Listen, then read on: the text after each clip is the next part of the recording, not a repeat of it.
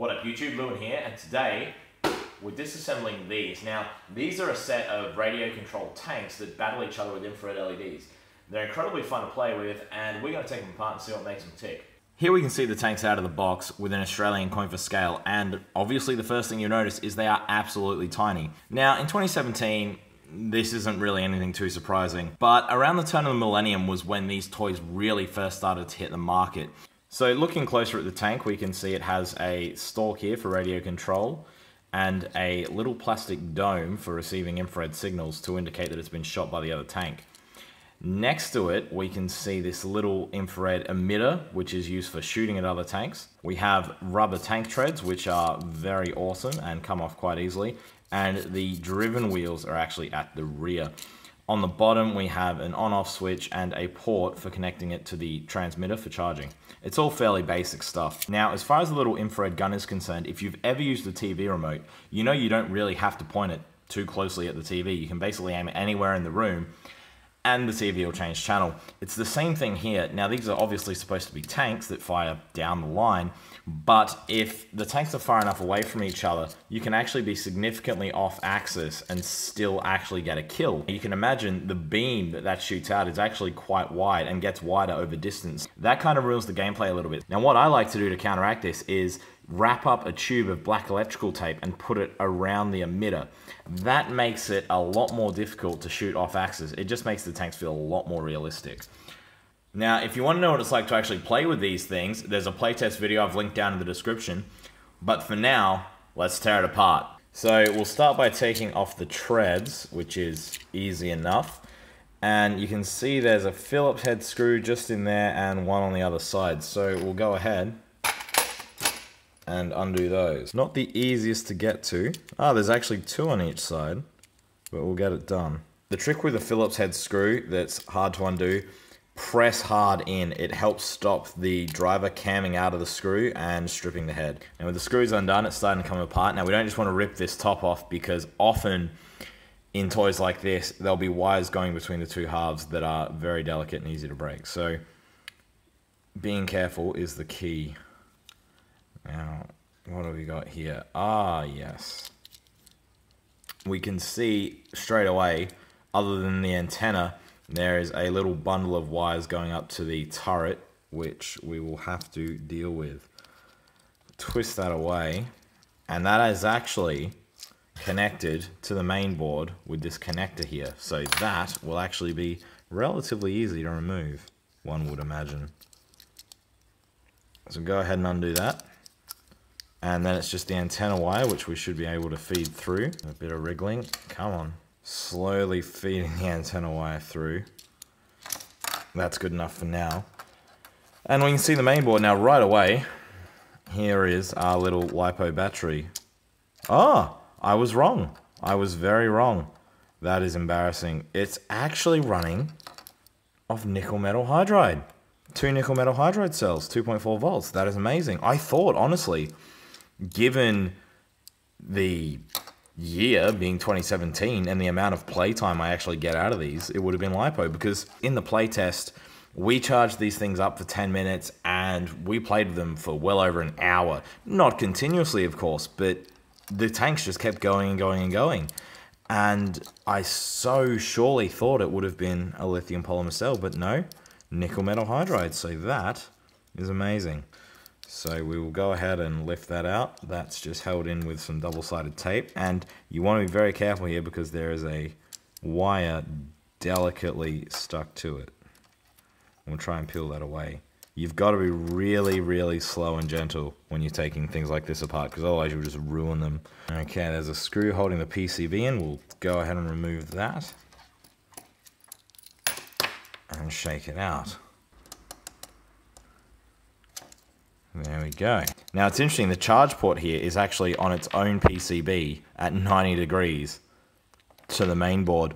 I reckon that's done because it was cheaper to make that interim piece of circuit board than it was to find a charge socket that actually fitted what they wanted to do. That's absolutely amazing that that's the way it works out.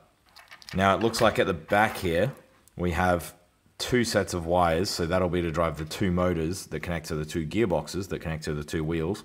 Because the way this tank works is there's a motor for one side and a motor for the other. Depending on the speeds you run each side, depends on whether the tank goes straight, turns left or right, reverses, etc. So looking incredibly closely, we can see there is a motor on top here driving the left track. And very much in the bottom there, there is the cog from a motor underneath driving the other track. What I don't quite understand is what this magnet wire is doing. It's attached to the body of the motor and I don't understand why. So we're gonna try and take it apart further and see if that helps our understanding. Naturally, as soon as we did that, pieces went everywhere, but we can now get a better look at the drivetrain. So we have a motor on the bottom, a motor on the top, a screw which is now stuck, and this magnet wire. So we're not getting any answers looking at the drivetrain side of things, and we are losing a lot of cogs. Let's instead look at where the magnet wire goes. Now they both go to ground. How interesting. That could just be to reduce EMF, but that really sounds like a cop-out. To be honest, I really don't understand why you need to ground the cases of the motors doesn't make a lot of sense to me because you already have two wires. There'd be an H bridge on this chip for driving the motors forward and backwards so you can go forward, backwards, and also spin the tank around. I don't understand why the case of the motor has to be grounded unless it's for some strange noise reason. But at the same time, it's hard to imagine why such a little motor would create so much noise as to be a problem. If you know why, throw it down in the comments and tell me why I'm missing something perfectly obvious. Now, as far as the drivetrain goes, this is obviously a small, very lightweight toy, probably weighs far less than 100 grams all up. That means you don't need a whole lot of ball bearings or anything special in a drivetrain like you would in a power tool, for example. All we have here is metal shafts riding in the actual case itself. The bearing surface is actually molded in to the case of the toy and the shaft simply runs in those grooves. This is an example of incredibly efficient engineering in that the body of the tank itself serves as part of the gearbox structure. It's pretty cool, and if you're intending to design toys as cheaply and effectively as possible, you should definitely consider using these kind of techniques yourself. So looking more closely at the PCB, one of the first things that jumps out at us is this LM358. Now I'm not some career elec eng that can just make these guesses by inspection, but there's a couple of clues that sort of make me think this way. Number one, the chip is very close to the battery. Sounds silly, but sometimes these things make sense. Number two, this being a nickel metal hydride battery, not a lithium, I wouldn't really be too surprised if that's just a chip that sort of cuts off when this nickel metal hydride battery gets to a particular voltage. Just, just a guess, but that's what I reckon that's there for. This chip here on the other side of the board, this is fairly obviously the chip running the whole show. Partly just because it's the biggest. You know, you just know these things. Now this would be running radio communication, the infrared setup, I would say, and also obviously it's almost certainly connected to the motors here one way or another. Now, whether this chip is an ASIC or a microcontroller that's been programmed is kind of hard to say, but I would be leaning towards the latter because it's pretty expensive to do custom silicon. Trying to figure out what kind of microcontroller it is is very difficult because not only are there no numbers on the case, it doesn't even look like they've been filed off. It just looks like they were never there to begin with, so that could be some really obscure, strange microcontroller from God knows where. One way to learn more about it would be to decap it, but that's a little outside the scope of what we're doing today. Flipping back over, we have these two little chips here. Now, these are almost certainly RH bridge motor drivers. I say that because there's two of them and we have two motors. And in addition, we don't have any other obvious motor drivers or big transistors, and they're right next to the pads that connect to the motor as well. So that's pretty much a done deal. That also makes me suspect that these two little packages are perhaps some kind of snubbing diode, but that actually wouldn't make any sense because the motor is reversible, so not exactly sure what those might be. Actually, they're probably caps to help reduce spikes in a different way. So that's sort of all your main active silicon. We have these here, which are probably more transistors or potentially a regulator, but who's to say? Looks like a protection diode here as well, but again, can't really tell. Now with the mysteries of the PCB largely known to us, let's take a look at what's in the turret. Now to actually get this turret apart is a little difficult. We can see there's a screw holding things together, but it is presumably under here, so we may have to split this apart and we will try not to break it doing so. Ah, there we go. There we go. Now, when we took that apart, you may notice we split what looks like four little pins that held it all together. Thankfully, this isn't a complicated toy. We can just stick that back on with super glue, but it is a destructive process to take it apart. Now with this apart, it's pretty simple to tell what's going on. We have the status LED, we have the infrared LED for shooting at other tanks, and then here we have an infrared receiver. Now this receives light that has been caught by this plastic dome and diffuses down in here so that the tank can be shot from all angles.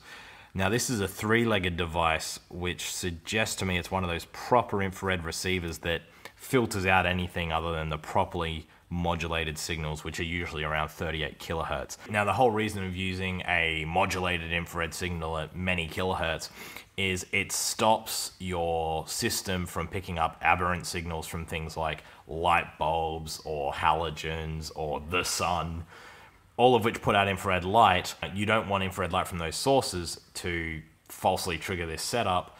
So you use a modulated signal because it's incredibly unlikely that the sun is going to start flashing 38,000 times a second. And if it does, you've got bigger problems than your remote control tanks not working. So that's why this is a three-legged device. It's not just a photodiode in there. There's actually a little bit of active electronics that helps filter things out, I do believe. But that's all it is fundamentally. So we've got five wires here. One will be a ground, one will be power, and the other three will probably talk to the other devices. A couple of support passives there, but that's really all she wrote. Now, if we reassemble it, you can see that the turret can actually turn. Now, that may seem silly because it's not powered or controllable during the game. However, it does have some strategic implications. Let's demonstrate with an example. We have the Soviet tank here trying to shoot at the German tank there. To try and shoot from behind cover, the tank must first drive out, turn, fire, and then back away, turning at the same time. It's a very complicated maneuver which requires some incredibly careful driving, which, if you've watched our other video, is easier said than done. However, let's change things. If we put the tank turret at 45 degrees, we can instead move forward, fire at the enemy tank, and reverse behind cover instantly simply by going in forward and reverse. It allows us to use the cover far more effectively without unduly exposing the tank, and it completely changes the strategic options when you're fighting this way. So I think it is actually pretty cool that they let you set the tanks up in the way you want for different kind of game scenarios. Now, these tanks are a great example of just how far miniaturization has come. Even with fairly simple technology by modern standards, it's really impressive how much they do with such little space. The great thing about this miniaturization is that it enables a whole raft of remote control toys to exist that simply weren't even conceivable 20 to 30 years ago. If you want to actually see what these things are like to play with, check out my playtest linked in the description below. And otherwise, till next time, thanks for watching. Lewin out. Now the real question is, can I get all this back together? All right. Wish me luck. Oh my god, it still works. Awesome.